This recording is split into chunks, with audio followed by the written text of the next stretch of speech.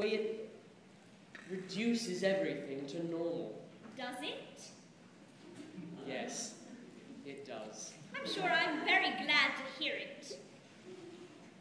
Well, you're certainly very glacial this morning. Are you surprised? Frankly, yes. I expected more of you. Well, really. I've always looked upon you as a woman of perception and understanding. Well, perhaps this is one of my off days.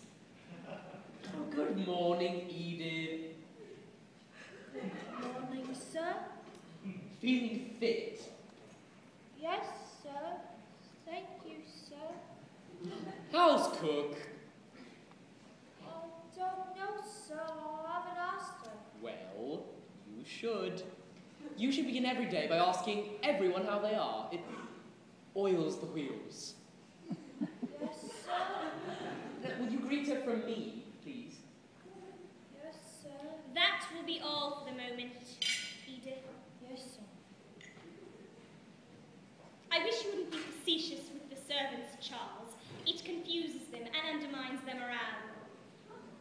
Well, I consider that point of view retrogressive, if not downright feudal. I don't care what you consider it. I have to run the house, and you don't. Are you implying that I couldn't? You're at liberty to try. I take back what I said about it being a good morning. It's a horrid morning. You'd better eat your breakfast while. It isn't. Now look here, Charles. In your younger days, this display of roguish flippancy might have been alluring. In a middle-aged novelist, it's nauseating. Would you like me to writhe at your feet in a frenzy of self-abasement? That would be equally nauseating, but certainly more appropriate. I really don't see what I've done.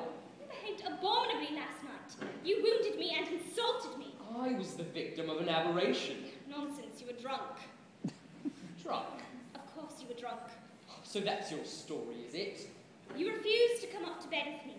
And when I finally came down at three in the morning to see what had happened to you, I found you in an alcoholic coma on the sofa with the fire out and your hair all over your face. I was not in the least drunk, Ruth. Something happened to me last night. Something. Something very peculiar happened to me. Nonsense. It isn't nonsense. I know it looks like nonsense now in the clear, remorseless light of day, but I assure you that last night it was far from being nonsense. I honestly had some sort of hallucination. I would really rather not discuss it any further. But you must discuss it. It's very disturbing.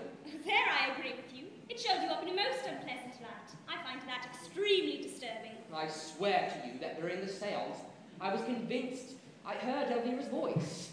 Nobody else did. I can't help that. I did. But you couldn't have. And later on, I was equally convinced that she was in this room. I saw her distinctly and talked with her.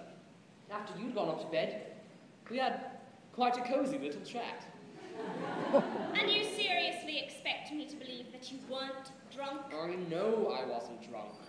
If I had been all that drunk, I should have a dreadful hangover now, shouldn't I? I'm not at all sure that you haven't. I haven't got a trace of a headache. My tongue's not coated. Look at it. I've not the least desire to look at your tongue. Kindly put it in again. I know what it is. You're frightened, Frightened? Rubbish. What's there to be frightened of? Elvira. You wouldn't have minded all that much, even if I had been drunk. It's, it's just that it's all mixed up with Elvira. We were talking too much of her last night. You know, it's dangerous to have someone very strongly on your mind when you start dabbling with the occult.